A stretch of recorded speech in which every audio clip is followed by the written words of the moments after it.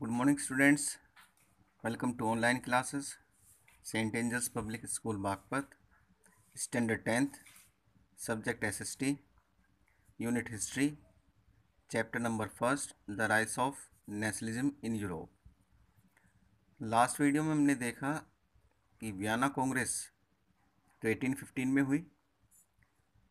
उसके बारे में और उसके बाद किस तरह से यूरोप के अंदर रेवोल्यूशनरी एक्टिविटीज़ स्टार्ट हुई, उसके बारे में। अब आगे स्टडी करते हैं। गिसिपी मैजनी ही वास एन इटालियन रेवोल्यूशनरी तो गिसिपी मैजनी इटली का एक क्रांतिकारी था। ये become a member of the secret society of the Carbonari और एक मेंबर बना सीक्रेट सोसाइटी का। He attempted a revolution in Liguria but was captured and sent into exile in 1831 Giuseppe Mazzini ने एक विद्रोह की साजिश रची लिगेरिया में, लेकिन ये कामयाब नहीं हुआ, ये पकड़ा गया और इसे देश निकाला, दे दिया गया 1831 में। He subsequently founded two more secret societies किसी भी मैजनी ने इसके बाद भी दो सीक्रेट सोसाइटीज़ का निर्माण किया। पहली है यंग इटली, ये मर्जलीज में बनाई। दूसरा है यंग यूरोप, जो बर्नी में बनी। The societies had a vast base with member from many countries like Poland France Italy and German state ये जो सीक्रेट सोसाइटीज़ बनाई गई, इसके अंदर बहुत सारे मेंबर अलग अलग देशों से, ख़ास तौर से पोलैंड फ्रांस इटली और जर्मन स्टेट से शामिल किए गए। Mazzini believe that God had intended nations to be the natural unit of mankind Mazzini का ये मानना था कि जो भगवान हैं गॉड हैं, वो चाहता है कि जो नेशंस हैं, वो नेचुरल यूनिट है मैनकाइंड की। So Italy could not continue to be a patchwork of small states and kingdom तो इसीलिए इटली अलग अलग छोटे छोटे स्टेट्स में या राज्यों में बटा नहीं रह सकता। तो मैजनी का ये मानना था कि भगवान भी ये चाहता है कि जो नेशंस हैं, वो यूनाइटेड हो। ऐसे में इटली अलग अलग छोटे छोटे राज्यों में कैसे बटा रह सकता है? It had to be forged into a single unified republic with a wider alliance of nation तो मैजनी चाहता था कि जो इटली अलग अलग स्टेट्स में डिवाइडेड है, वो यूनिफाइड हो सिंगल यूनिफाइड नेशन बने। This unification alone could be the basis of Italian liberty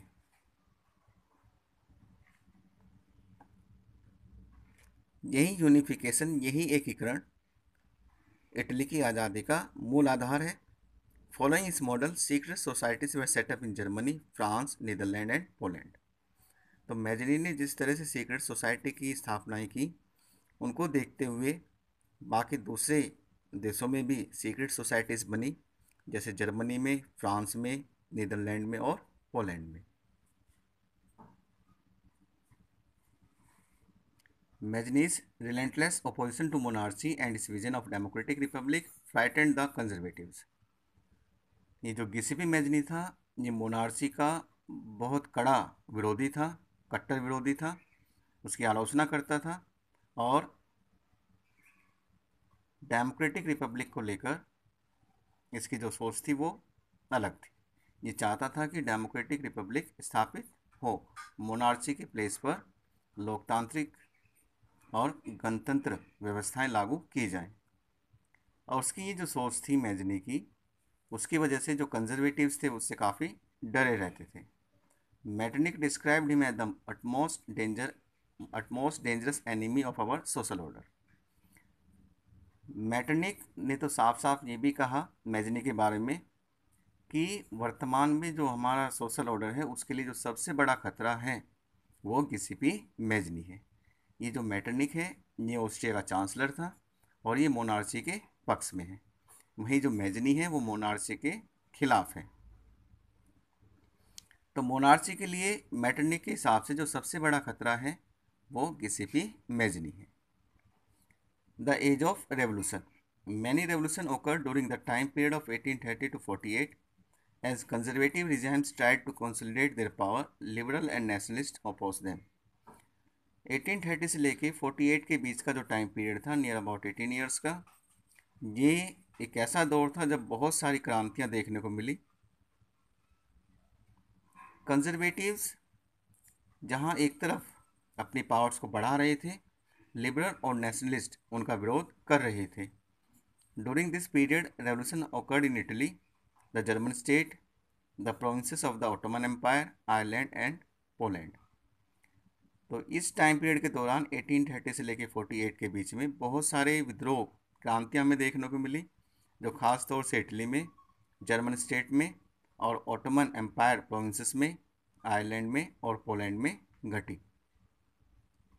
The revolution were led by the liberal nationalist belonging to the educated middle class elite among whom were professor school teachers clerk and member of commercial middle class ये जितने भी विद्रोह हुए हैं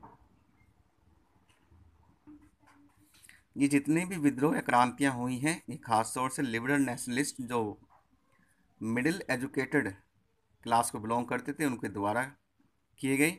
इनमें ख़ास तौर से प्रोफेसर स्कूल टीचर्स क्लर्क और कॉमर्शियल मिडिल क्लास के लोग शामिल थे। सबसे पहले upheaval in France the first upheaval to place in France in July 1830 the Bourbon monarchs king who had been restore to power after the Vienna congress by the conservative were now overthrown by liberal revolutionary who installed a constitutional monarchy with Louis Philippe as its head. सबसे पहले सबसे पहला विद्रोह या क्रांति जो देखने को मिली वो हुई फ्रांस में ये हुई जुलाई 1830 में इस विद्रोह के दौरान बुर्बो वंश का जो राजा वियाना कांग्रेस के बाद कंजर्वेटिव्स द्वारा फ्रांस का राजा नियुक्त किया गया उसे गद्दी से हटा दिया गया और उसके स्थान पर एक संवैधानिक मोनार्ची यहाँ पर स्थापित की गई और फ्रांस का जो नया संवैधानिक राजा बना, वो था Louis Philippe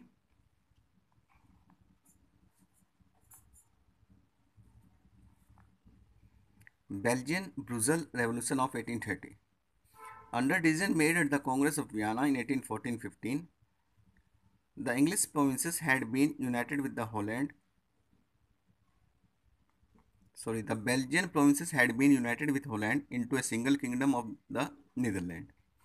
तो जो वियना कांग्रेस हुई 1814 जो वियना कांग्रेस हुई थी 1815 में, उसमें ये तय किया गया कि जो बेल्जियन प्रोविंस है, उसे हॉलैंड के साथ जोड़कर एक सिंगल यूनिफाइड किंगडम बनाया जाएगा, जिसका नाम होगा Netherlands in this new state industrially develop Belgium was assigned the role of a subordinate to Holland अब ये जो यूनाइटेड किंगडम बना है नीदरलैंड जिसमें बेल्जियम और हॉलैंड शामिल हैं, इसमें जो बेल्जियम है, ये इंडस्ट्रियली एडवांस था हॉलैंड के मुकाबले।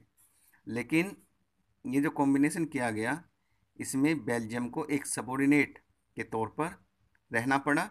यानी कि यहाँ पर जो हॉलैंड है, उसका अपर हैंड था और जो बेल्जियम था, वो उसके नीचे दबकर रहता था।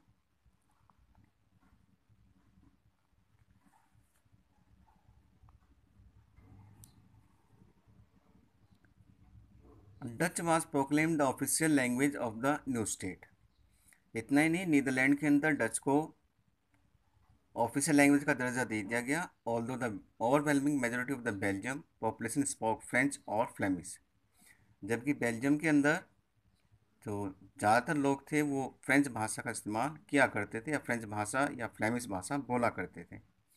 Inspired by the July revolution of France Belgian liberal and Catholic parties concluded a provisional alliance and led struggle for independence तो जुलाई में फ्रांस में जो रेवोल्यूशन हुआ, उससे प्रेरणा लेकर बेल्जियन लिबरल बेल्जियम के अंदर जो लिबरल और कैथोलिक पार्टीज़ थी, वो आपस में एक साथ जुड़ी।